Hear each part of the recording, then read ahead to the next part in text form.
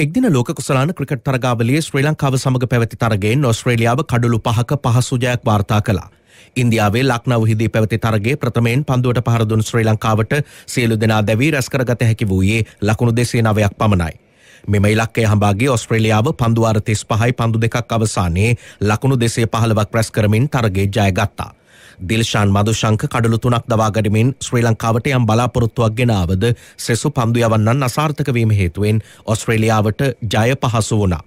මෙම තරගේදී ශ්‍රී ලංකා නම ඉදිරියේ අමිහිරි වාර්තාවක්ද සටහන් වනවා. ඒ ගත වූ වසර දොළහ තුළ ලෝක කුසලානෙක් දින තරගයකදී කණ්ඩායමේ සියලු දෙනා අඩුම ලකුණු පරතරයක් තුළ දැවී ගිය එකම අවස්ථාව ලෙසටයි. කුසල් ජනිත් පෙරේරා සහ පැතුම් නිස්සංක ශ්‍රී ලංකා පළමු කඩුල්ල වෙනුවෙන් ලකුණු එකසේ විසිපාක සමඳතාවක් ගොඩ නැගවා. කුසල් ජනිත් පෙරේරා ලකුණු හැත්තෑ අටක් සහ පැතුම් නිසංක ලකුණු හැට එකක් රැස් කලා. කෙසේ වෙතත් ආරම්භක සබඳතාව බිඳ වැටීමෙන් පසු ශ්‍රී ලංකා පිළේ පිතිකරුවන් සියලු දෙනා දැවීගේ ලකුණු අසූ හතරක් තුළයි.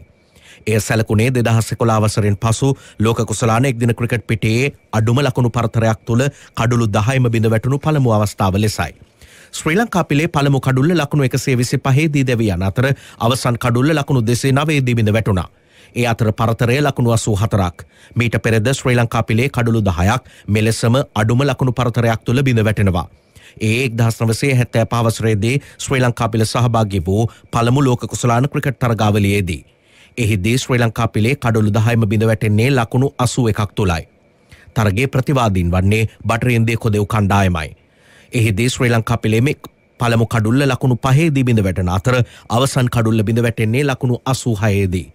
මෙම තරගේ පරාජයත් සමඟ ශ්‍රී ලංකාව ලෝක කුසලානේ මෙතෙක් සහභාගි වූ තරග තුනම පරාජයට පත්වී තිබෙනවා.